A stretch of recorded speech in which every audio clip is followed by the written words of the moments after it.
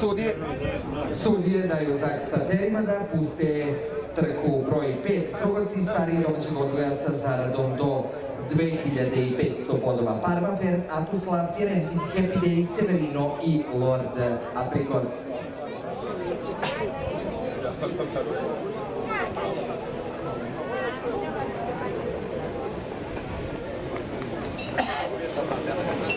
Start e, trke želi pošto poto na čelo Severino sa topalom kroz sredinu ide Atuslav Ivan Vukov, prvi špur za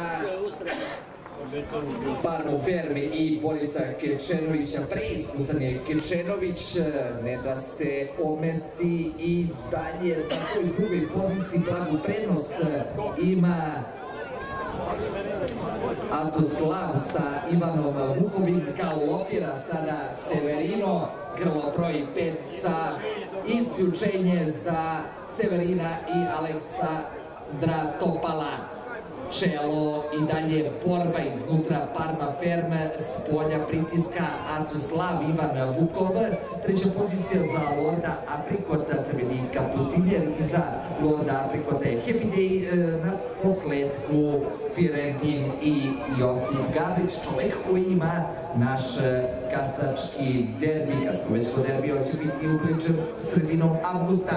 I dalje se ljuškaju i iskušavaju na čelu iznutra Parba Ferenc, polja Atuslav, dvoboj ruskog krstura i šavlja, treća pozicija za Lorda Aprikota, četvrta za Happy Day-a, peta za Fiorentina, iznosi se Atuslav iznutra, Lord Apricot, čelo sada za Parmu Fer.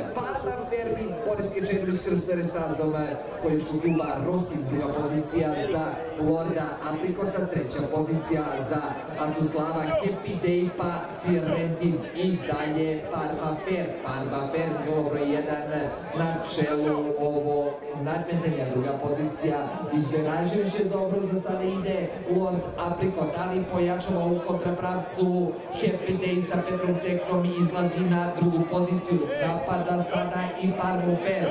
Parma Ferm iznutra s polja Happy Day. Rekli smo tri pobjede ima u šest posljednjih e, nastupa sada u galopu Lord Apricot iznutra završni pravac Parma Ferm s polja Happy Day. Parma Ferm, Boris Kerčenović s polja Happy Day, Petar Tek, Parma Ferm ili Happy Day, Parma Ferm ili Happy Day, Happy Day na prenos, Happy Day druga pozicija za Baru Fer. Sada mislim da su se i zapleli